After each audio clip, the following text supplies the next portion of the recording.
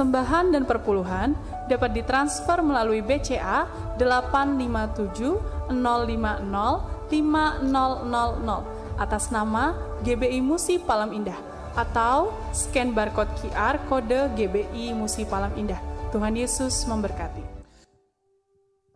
Shalom, selamat pagi. Saya menyapa Bapak Ibu yang ada di ruangan ini maupun Bapak Ibu yang menyaksikan tayangan ini dari rumah-rumah, dari kantor tempat Bapak Ibu bekerja dan berusaha. Bahwasanya kasih setia Tuhan untuk selama-lamanya bagi kita yang mengandalkan Dia. Amin. Terpujilah Tuhan kita ada hari ini bukan karena kita mampu dan kita bisa, tetapi semuanya hanya oleh pertolongan Tuhan. Sebab itu saya mengajak kita semua untuk sepakat satu hati, satu kata, kita mau memuji Tuhan, menyembah Tuhan dalam hadiratnya yang kudus pagi hari ini. Pastikan bahwa setiap kita memberi yang terbaik bagi Tuhan. Percayalah bahwa kuasa Tuhan tidak terbatas oleh ruang dan waktu. Dari tempat ini kami berdoa, maka mujizat pun pasti akan dialami oleh Bapak Ibu Saudaraku yang menyaksikan pagi hari ini. Puji Tuhan, saya saya mengajak kita sama-sama bersyukur sejenak. Mari ucap terima kasih. Katakan syukur kepada Tuhan. Terima kasih Tuhan, terima kasih. Oh inilah kami datang dengan kesederhanaan kami pagi hari ini Tuhan. Kami datang membawa ucapan syukur dan terima kasih kami kepada Tuhan. Sebab kami bukan hanya melihat, tetapi kami mengecap, kami merasakan, bahkan kami menikmati kebaikan Tuhan. Hari demi hari, bulan berganti bulan dan kami terus menikmati pemeliharaan Tuhan. Sebab itu Tuhan pagi hari ini kami datang bawa syukur dan terima kasih. Engkau sungguh baik, Engkau sangat baik, Engkau yang menjagai hidup kami. Bahkan engkau memakotai tahun-tahun hidup kami dengan rahmatmu Tuhan. Terima kasih dan terpuji namamu. Kami mengundang roh kudus untuk ada di tempat ini. Maupun juga di tempat-tempat di mana umatmu sementara menyaksikan tayangan ini. Roh kudus ada di sana. Roh kudus ada di tempat ini. Omnipresent itu sanggup memulihkan kami mengadakan mujizat bagi kami yang percaya, yang dengan sungguh hati datang kepadamu pagi hari ini. Maka kami akan melihat, menyaksikan mujizat Tuhan alami. Tuhan menyatakan bagi setiap kami dan kami mengalaminya. Terima kasih dan terpuji namamu Tuhan. Dengan hati bersyukur sama-sama kami buka ibadah ini dalam satu nama yang ajaib. Yaitu nama Tuhan Yesus Kristus. Haleluya. Amin, amin. Puji Tuhan, sama-sama kita sembah Tuhan. Sungguh besar setiamu Nyata di sepanjang hidupku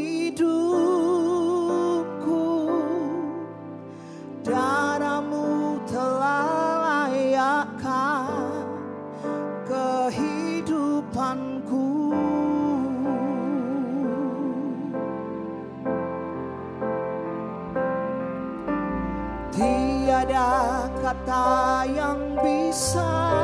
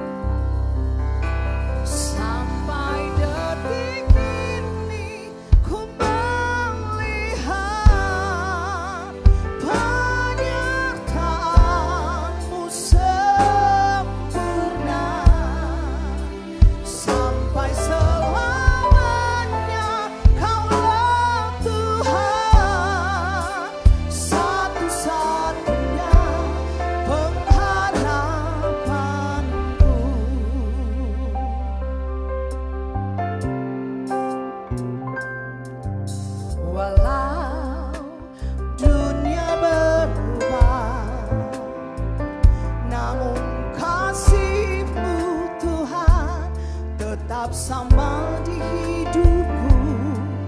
Kau setia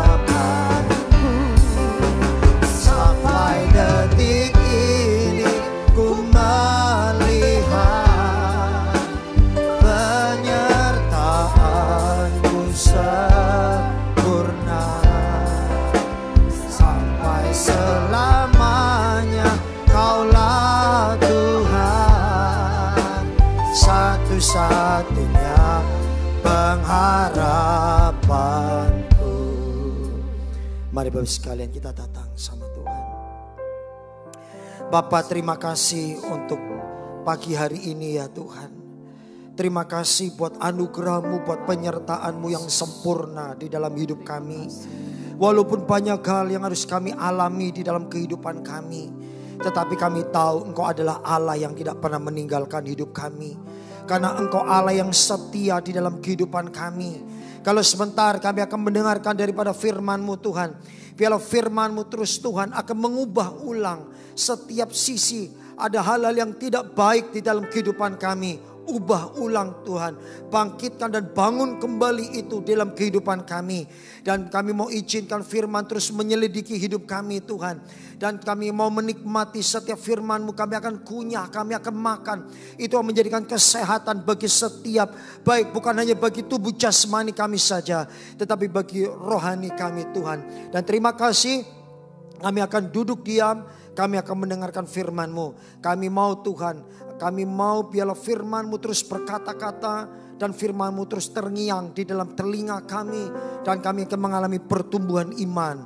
Dan terima kasih Bapak, di dalam nama Yesus, mari yang diberkati sama-sama katakan amin. Berikan tepuk tangan bagi sekalian, silakan duduk. Shalom Bapak sekalian yang ada di rumah-rumah di mana pun Bapak Ibu Saudara berada dan juga kita yang ada di tempat ini. Sekali lagi shalom. Nah, Bapak sekalian, pagi hari ini waktu Indonesia bagian barat, eh, saya akan memberikan sebuah tema yaitu tentang berkat rohani. Nah, ya saudara bisa lihat eh, di screen juga itu eh, satu judul tentang berkat rohani. Nah, Bapak sekalian sebelum kita berbicara untuk lebih jauh lagi, mari kita akan melihat teks daripada firman Tuhan pada pagi hari ini yaitu di dalam Ibrani 12 ayat yang ke-16. Ibrani 12 ayat yang ke-16. Mari kita akan baca bersama-sama. Satu, dua, tiga. Jangan ada orang yang menjadi cabul atau yang mempunyai hawa, mempunyai nafsu yang rendah. Seperti Esau yang menjual hak kesulungannya untuk apa? Sepiring makanan. Nah, Bapak sekalian, kita tahu bahwa sebagai pencipta Tuhan itu sangat baik. Yang arti katakan amin. Sebagai pencipta Tuhan itu sangat baik. Baik kepada siapa? Baik kepada kita. Ya, kepada setiap kita. Memberikan berkat kepada setiap orang fasik dan orang benar. Ya, ketika Tuhan menciptakan bumi dan segala isinya. Dan ada hujan, ada matahari, ada bulan, semuanya. Itu berkat yang diberikan kepada siapa? Bagi orang fasik dan orang-orang yang benar. Ya, berkat itu secara jasmani. Tuhan menciptakan itu semua. Itu tanda bahwa Tuhan sangat peduli dengan kita untuk memberikan berkat jasmani. Untuk kita menikmati semuanya. Yang arti katakan amin. Nah Bapak sekalian. Tapi kita harus mengerti. Ada sebuah berkat yang lebih tinggi. Ada sebuah berkat yang lebih tinggi dari semuanya itu. Yang kita sebut apa? Berkat rohani. Nah ini adalah sebuah berkat yang khusus yang akan diberikan kepada siapa? Bagi orang-orang bagi orang-orang benar, bagi orang-orang pilihan daripada Tuhan. Nah, berkat khusus ini bisa juga disebut apa? Warisan yang diberikan Bapa bagi anak-anaknya. Saya percaya bagi setiap kita yang mendengarkan pada pagi hari ini, saudara dan saya, kita adalah anak-anak daripada Bapa kita. Yang arti katakan amin. Kita, nah berkat yang diberikan Bapa itu adalah berkat khusus. Berkat adalah berkat warisan yang secara khusus diberikan kepada siapa? Bagi anak-anaknya yaitu kita yang dipilih oleh dia. Nah Bapak sekalian kita harus mengerti ketika kita membaca daripada teks yang kita baca daripada Ibrani 12 ayat 16. Bapak kita bisa lihat Esau, Esau diberikan diberikan apa? diberikan satu berkat. Yaitu berkat apa? Hak kesulungan. Tetapi Esau menjual daripada hak kesulungan ini. Nah kalau saudara lihat kata sulung itu dari bahasa Ibrani dari kata bechor. ya Itu sama memiliki akar yang sama dengan kata buah sulung. Yaitu bakar. bakar. Nah Esau ini menjual daripada hak kesulungannya. Demi apa? Demi sebuah apa? Sepiring sepiring makanan. Nah Bapak sekalian, hak kesulungan itu adalah berkat, suatu berkat rohani. Ini adalah berkat warisan, berkat rohani. Karena apa? Karena kesulungan itu memiliki derajat yang lebih tinggi. Jadi begini Bapak sekalian.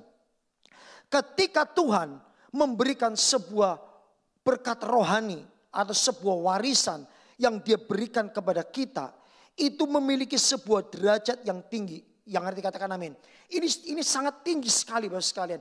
Ini tidak bisa ditukar dengan sepiring makanan atau ditukar dengan apa pun. Karena ini adalah daripada inisiatif daripada Tuhan sendiri yang diberikan secara pribadi kepada setiap orang. Saudara dan saya pada pagi hari ini. Nah Bapak sekalian, saudara tahu bahwa berkat kesulungan itu bagi orang-orang Israel, bagi orang-orang Yahudi, ini memiliki derajat yang lebih tinggi di bawah derajat bapaknya. Jadi setelah bapaknya yaitu dia. Karena dia memiliki berkat kesulungan. Nah berkat kesulungan bukan hanya kita diberikan sesuatu yang lebih tinggi, tetapi berkat kesulungan itu adalah sebuah tanda bahwa kita akan dihargai. Yang arti katakan amin. Nah Bapak sekalian, ketika Tuhan memberikan berkat rohani, ketika Tuhan memberikan warisannya yang secara khusus kepada kita, dengan Bapak sekalian, kita sedang apa? Kita ada di bawah daripada Tuhan kita. Yang arti katakan amin. Kita diberikan kuasa, kita diberikan hak, persis pas di bawah siapa? Bapak kita, yaitu siapa? Tuhan Yesus. Dan kita pun derajat kita dinaikkan, kita dihargai dan juga dengan Bapak sekalian dengar hal ini. Berkat kesulungan atau berkat rohani itu akan itu akan mendapatkan dua kali lipat lebih banyak. Nah Bapak Saudara bisa perhatikan orang-orang yang mendapatkan berkat rohani atau berkat warisan yang diberikan secara khusus bagi orang-orang itu.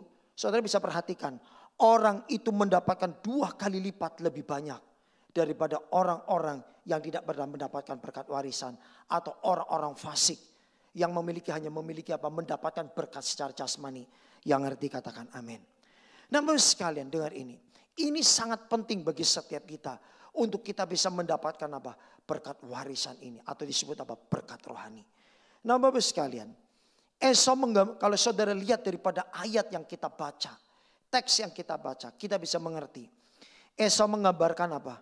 Keputusan seseorang yang dengan sengaja menolak warisan yang dijanjikan Tuhan demi apa? Keuntungan yang sementara. Bapak sekalian, berkat jasmani apa yang kita lihat itu bersifatnya sementara. Tetapi saudara dengar, berkat rohani, berkat warisan yang Tuhan berikan bagi kita, itu apa? Sifatnya adalah kekal. Yang setuju katakan amin. Dan sekalian saya percaya biarlah setiap kita bisa mendapatkan berkat daripada rohani atau berkat warisan ini. Yang Tuhan berikan bagi setiap kita. Nah sekalian berkat ini kita bisa bisa melihat di dalam Yakobus pasal 1 ayat yang ke-17. Kita bisa lihat dalam Yakobus pasal 1 ayat yang ke-17. Yo, Yakobus pasal 1 ayat ke-17. Mari kita akan baca sama-sama. 1 2 3. Setiap pemberian yang baik dan setiap anugerah yang sempurna datangnya dari atas, diturunkan dari Bapa segala terang. Padanya tidak ada perubahan atau bayangan karena pertukaran. Nah, sekalian, setiap pemberian yang baik, sesuatu warisan, sesuatu yang Tuhan berkati, yang Tuhan berkat rohani, itu adalah anugerah yang sempurna. Itu Tuhan berikan kepada siapa? kepada setiap anak-anaknya. Kalau saudara tahu kalau kita adalah anak-anak daripada Tuhan, Tuhan pasti memberikan pemberian yang terbaik sesuai dengan anugerah yang sempurna. Yang arti katakan amin. Dan saudara tahu setiap orang itu diberikan masing-masing. Kita tidak memiliki berkat yang rohani yang sama. Setiap orang masing-masing kalau kita disebut anaknya Tuhan.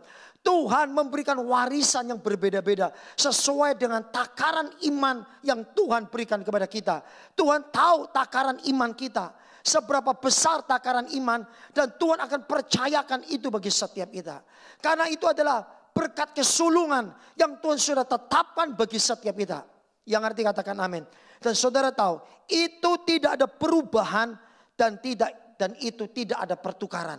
Semuanya apa yang Tuhan sudah tetapkan tidak ada namanya perubahan dan itu tidak ada namanya pertukaran. Apakah orang akan orang bisa berkata demikian, Pak mungkin itu tertukar. Saya lebih rohani daripada dia. Dengar ini baik-baik sekalian. Bukan masalah rohani atau tidak rohani. Tuhan tahu takaran setiap orang. Bagaimana dia bisa melakukannya. Dan dia bisa mendapatkan untuk apa. Tentang berkat rohani dan warisan ini. Yang setuju katakan amin. Nah yang menjadi pertanyaannya begini baik sekalian. Bagaimana mempertahankan atau menumbuhkan daripada berkat rohani. Bagaimana mempertahankan atau menumbuhkan terus menjagain daripada berkat rohani. Yang pertama Bapak sekalian. Yang pertama. Poin yang pertama yaitu apa? Menghargai hal-hal yang rohani. Nah mari kita akan baca dulu Bapak sekalian yaitu teks yang kita baca kita akan baca sekali lagi tentang Ibrani 12 ayat yang ke-16a. Firman Tuhan katakan demikian.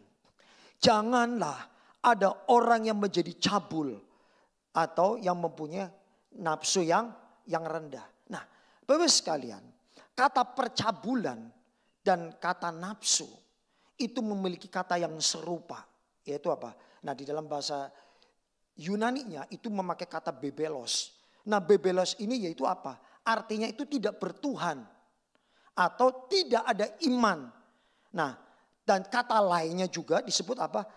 Orang ini tidak bisa menghargai hal-hal yang rohani. Atau biasanya kalau kita lihat Esau, Esau itu menganggap rendah. Sesuatu itu dianggap biasa.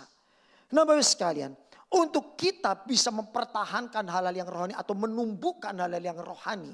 Untuk kita bisa mendapatkan itu daripada Tuhan. Kita kita harus bisa menghargai hal-hal yang rohani daripada Tuhan. Yang setuju katakan amin. Kita kita terkadang kita menganggap satu kebiasaan hal-hal yang rohani karena kita mungkin sudah terbiasa contohnya kita beribadah kita anggap ya biasa saja dan kita ketika kita mendengarkan sebuah khotbah kita katakan, oh itu biasa saja. Nanti habis ini, habis ini ini, nanti habis ini. Kita anggap biasa. Karena kita sudah menganggap biasa. Kata bebelos ini Bapak sekali, itu artinya apa? Kalau orang sudah menganggap biasa, artinya apa? Orang itu sudah tidak namanya tidak bertuhan lagi.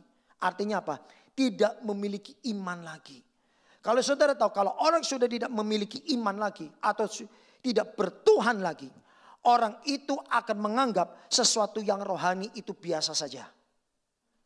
Nah ini sangat bahaya sekali. Seperti Esau.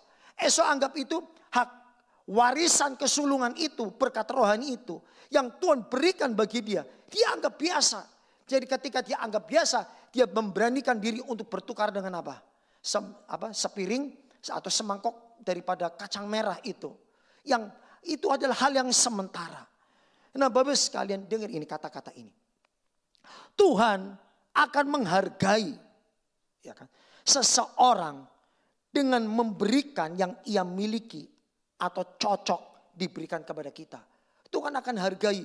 Kalau Tuhan menghargai kita, Tuhan akan memberikan sesuatu yang sangat berharga yaitu apa? Satu berkat rohani yang tidak bisa ditakar dengan berkat-berkat jasmani. Tuhan akan berikan bagi kita. Nah, tetapi jika kita tidak menghargainya, kita akan membayarnya. Nah, saudara lihat di dalam ayat yang ke-17.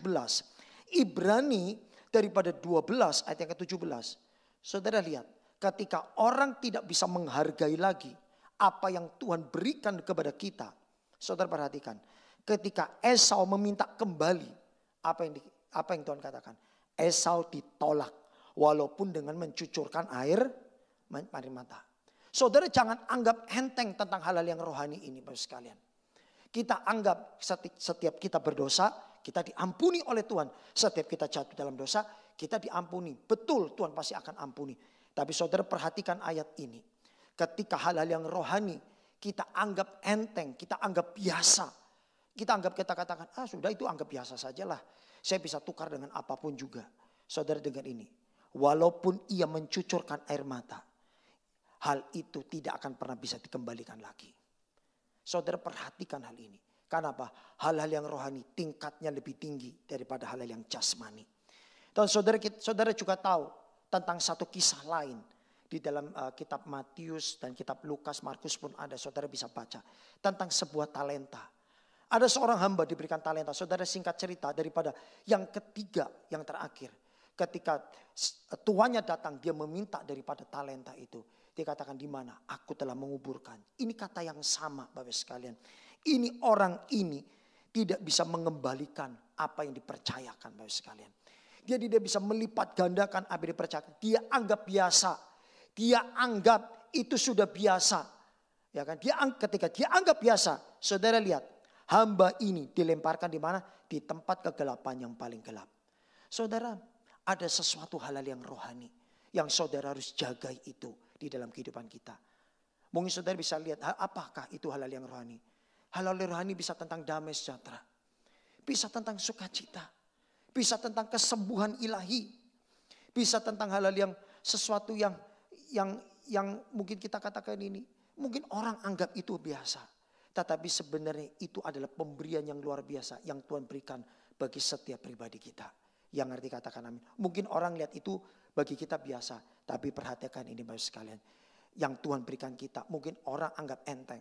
Tapi jangan anggap enteng itu Bapak sekalian. Karena itu adalah pemberian daripada Tuhan.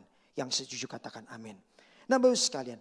Manusia cenderung melihat yang kelihatan, yang jasmani. Dan lebih untuk menghargai hal-hal yang jasmani. Saudara lihat. Betapa banyak orang melihat hal-hal yang jasmani itu sangat dihargai oleh manusia. Sesuatu yang lebih kaya, yang lebih baik, lebih apa pun lebih dihargai. Tapi saudara melihat ini. Daripada apa? Melihat, menghargai hal-hal yang rohani yang tidak nampak. Karena kita manusia yang nampak saudara. Secara jasmani. Tapi saudara perhatikan ini. Ada hal-hal yang tidak nampak. Yang itu jauh lebih besar daripada yang nampak. Yang arti katakan amin. Yang itu tidak bisa ditakar. Itu tidak bisa dinilai dengan hal-hal yang jasmani. Nah bagus sekalian. Tujuan Allah memberikan berkat rohani. Tujuan Allah memberikan berkat rohani agar setiap kita dapat memiliki apa? Hubungan apa? Hubungan yang lebih dalam dengan Tuhan. Yang arti katakan amin. Nah, supaya apa? Ketika kita bisa memberi kita membuat hubungan rohani kita, kita tuh dekat dengan Tuhan. Kita bisa lebih intim dengan Tuhan. Itu tujuan Tuhan memberikan berkat rohani supaya kita, setiap kita lebih mudah masuk ke dalam hadirat Tuhan. Dan juga apa? Ketika kita diberikan berkat rohani yang tidak bisa ditakar oleh berkat jasmani. Supaya saudara apa? Bisa memiliki makna hidupmu. Hidupmu bisa memiliki arti di dalam kerohanian. Supaya kita tidak mudah down. Supaya apa? Kita tidak mudah ciut kerohanian kita. Kita tidak mudah takut. Tapi apa? Kita bisa mengerti ketika kita berdoa kita bisa berpikir bahwa Tuhan sudah memberikan aku berkat yang rohani yang lebih tinggi. Oleh karena itu aku bisa ketika aku dilihat pandang manusia rendah.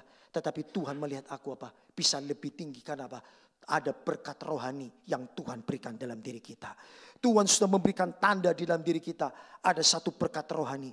Ketika kita ketemu dengan Tuhan.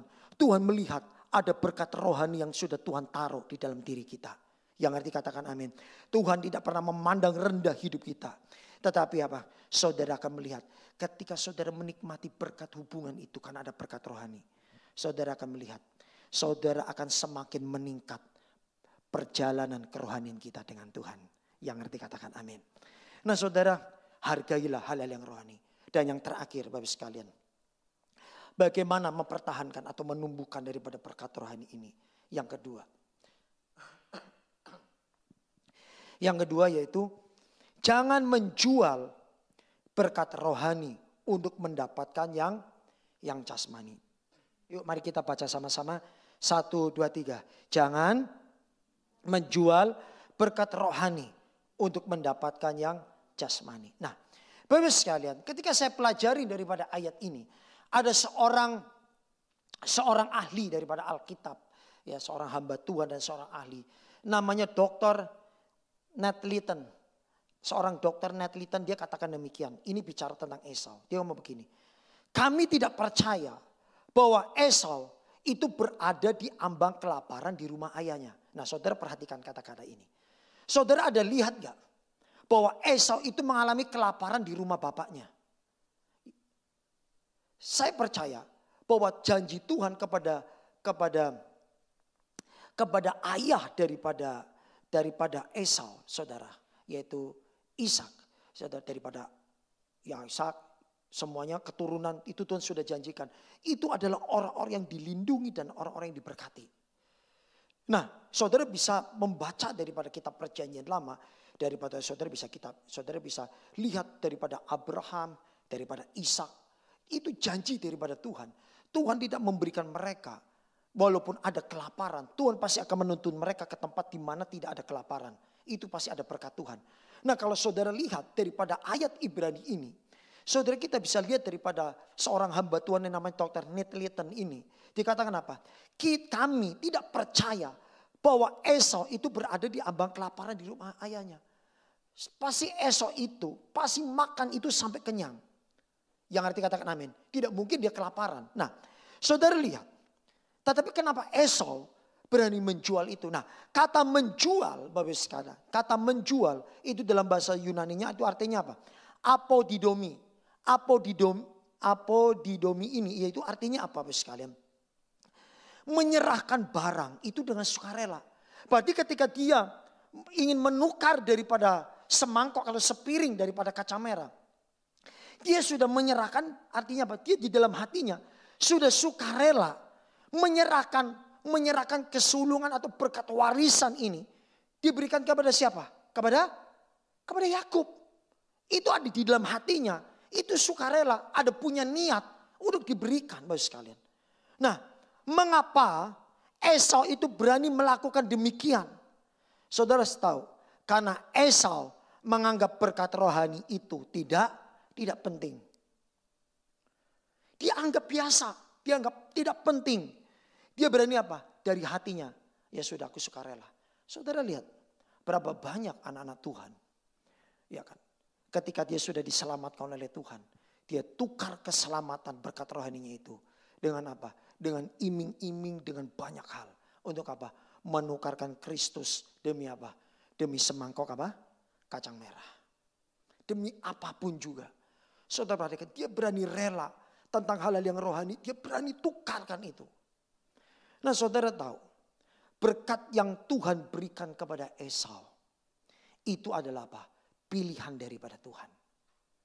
Saudara renungkan kata-kata ini. Berkat yang Tuhan berikan kepada Esau itu adalah pilihan daripada Tuhan. Kalau Tuhan sudah memberikan satu berkat daripada kesulungan, yaitu tentang berkat rohani yang lebih tinggi. Tuhan tahu orang ini pasti bisa memberikannya.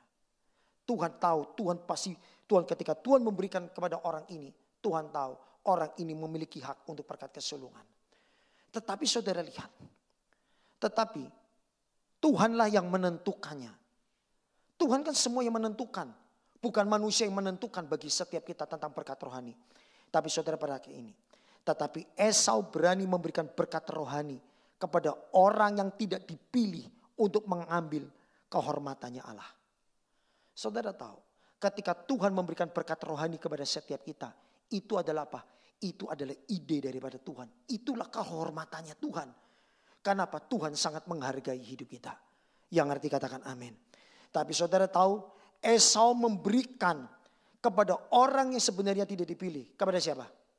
Kepada siapa? Kepada Yakub. Ya kan? Tapi tadi kita bisa lihat uh, teks daripada kisah berikutnya. Karena Yakub lebih menghargainya. Tuhan berikan itu kepada siapa? Kepada Yakub. Saudara perhatikan ini. Sebenarnya Tuhan tidak akan memberikan kepada siapa-siapa. Tapi kalau kita tidak bisa dipercaya dengan namanya berkat sebuah berkat rohani. Tuhan akan ambil alih. ya kan? Dan tu, pada ketika Tuhan memberikan berkat rohani itu. Tuhan sangat menghargai kita. Tuhan memberikan dengan kehormatannya sendiri kepada setiap kita.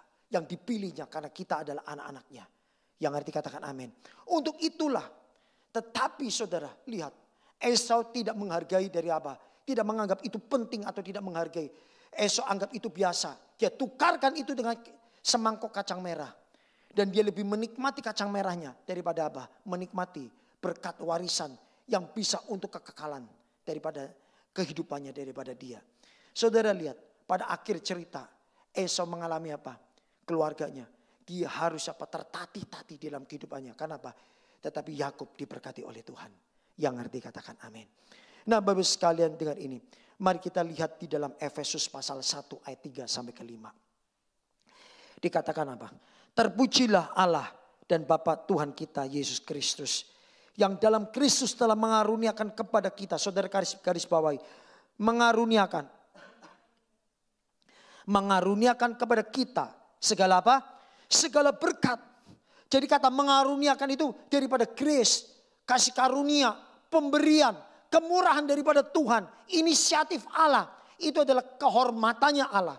Kepada kita segala berkat rohani di mana? Di dalam sorga.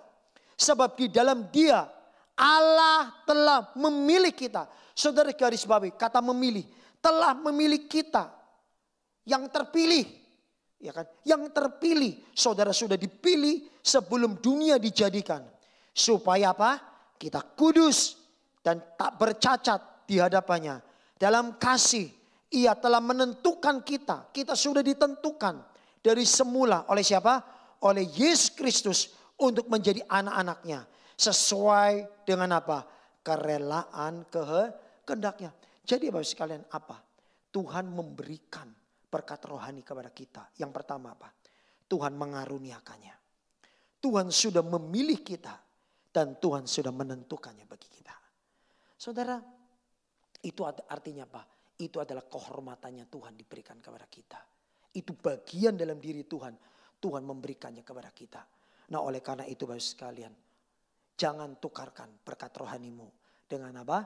Sepiring atau semangkok kacang kacang merah. Saudara bisa artikan kacang merah itu apa? Itu artinya bisa luas sekali dengan ala apa pun juga. Nah saudara, kata berkat yang di sini ditulis itu memakai kata eologi. Yaitu artinya apa? Itu berkata, berkata baik. Jadi ketika kata-kata Efesus 1 ayat 3 sampai 5 ini ditulis. Tuhan sedang Tuhan sedang memberikan pesan apa? Aku sedang berkata yang baik kepada kamu. Yaitu apa? Tuhan sedang ber, bukan hanya berkata yang baik, tetapi Tuhan sedang menyatakan apa? Sesuatu yang baik di luar nalar pikiran kita. Ada yang Tuhan sedang siapkan. Satu berkat, kata-kata yang baik dari Tuhan. Yang Tuhan sedang berikan bagi setiap kita. Supaya apa? Supaya itu semuanya apa? Diberikan untuk kepentingan kita. Yang dikatakan apa? Itulah untuk kepentingan kita dan kita melakukannya dan kita kembalikan lagi kepada Tuhan. Yang setuju katakan amin. Nah saya akan tutup dengan kata-kata ini Bapak sekalian. Ketika kita menerima Yesus sebagai Tuhan dan Juru Selamat. Kita diberikan sebuah berkat rohani. Salah satunya yaitu apa? Dan yang ini yang terutama dan setelah itu ada berkat-berkat rohani yang lain. Yaitu apa? Keselamatan di dalam Kristus. Kita diangkat menjadi anaknya. Bukan oleh karena kita, tetapi karena kerelaan atau niat baik daripada Tuhan. Saudara tahu kita ada hari ini, kita diberikan berkat rohani. Oleh karena apa? Oleh karena kerelaan dan niat baik daripada Tuhan. Saudara ada di tempat ini bisa percaya Yesus. Oleh karena apa? Semua oleh karena niat baiknya daripada Tuhan. Kalau tidak ada kerelaan dan niat baiknya Tuhan. Saudara renungkan baik-baik. Kita akan berada di mana hari ini. Kita akan ada di mana hari ini. Kalau Bapak Ibu Saudara ada di tempat ini dan Bapak Saudara sedang melihat hal ini. Dan kita semua yang ada di tempat ini. Ayo kita sama-sama. Sampai Tuhan Yesus datang. Kita yaitu apa? Kita bisa menghargai, menghargai hal-hal yang rohani. Yang kedua apa? Kita bisa apa? Jangan menjual sesuatu yang rohani demi yang sementara. Saya percaya biarlah di bulan ini, di bulan di bulan di bulan yang ketiga ini tentang ada pasca, saya percaya sebab saudara akan mengalami terobosan sesuatu, saudara akan menemukan sesuatu yang rohani, yang lebih besar daripada berkat-berkat yang yang jasmani. Saudara dengar ini baik, tangkap, ambillah dan kejarlah hal-hal yang rohani. Maka hal-hal yang jasmani Tuhan akan menyiapkannya bagi setiap kita. Amin. Mari kita bangkit berdiri sama-sama. Selidiki aku, lihat hatiku apakah kau sungguh mengasihi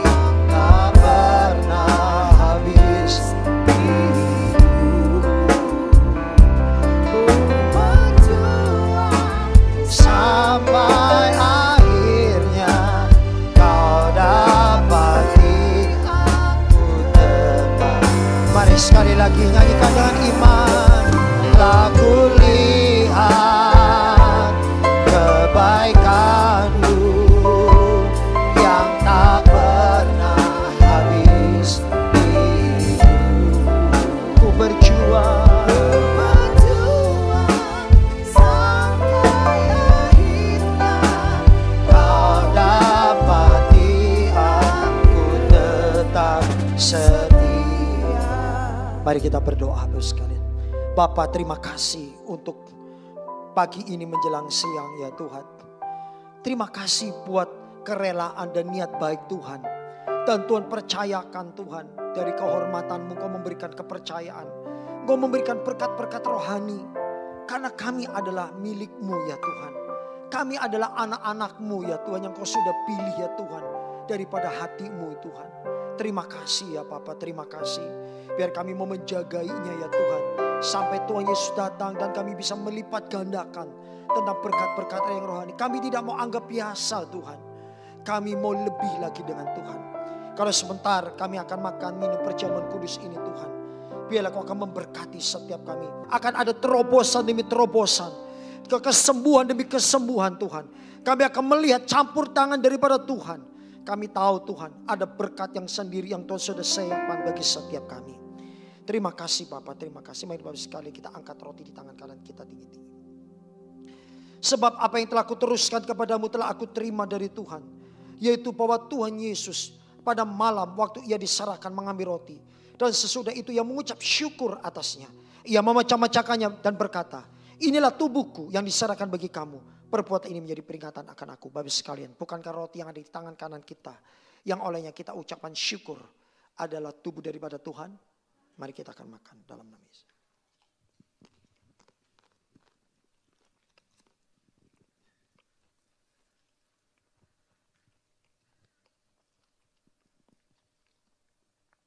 Mari kita angkat cawan di tangan kanan kita tinggi-tinggi. Demikian juga ia mengambil cawan setelah makan. Lalu berkata, cawan ini adalah perjanjian baru yang dimerintahkan oleh darahku. Berbuatlah ini setiap kali kamu meminumnya menjadi peringatan akan aku. Bapak sekalian, bukankah cawan yang ada di tangan kanan kita, yang olehnya kita ucapkan syukur adalah peringatan kita oleh karena darah Kristus. Mari kita minum di dalam nama Yesus. Mari kita ucapkan syukur.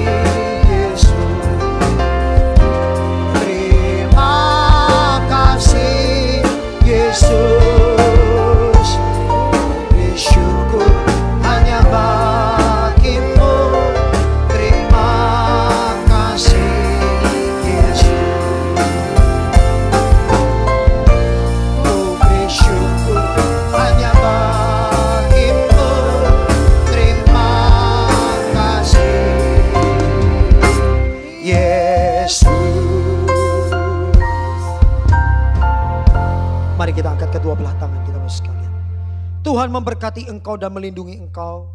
Tuhan menyinari engkau dengan wajahnya dan memberi engkau kasih karunia. Tuhan menghadapkan wajahnya kepadamu dan memberi engkau damai sejahtera. Bapak Ibu sekalian pulanglah. Terimalah berkat daripada Tuhan Yesus Kristus. Dan oleh karena persekutuan kita dengan roh kudus yang menyertai kita pada hari ini. Hingga kedatangan Tuhan yang kedua kali menjemput kita di awan-awan yang permai. Mari yang sudah diberkati sama-sama katakan amin. Tuhan memberkati.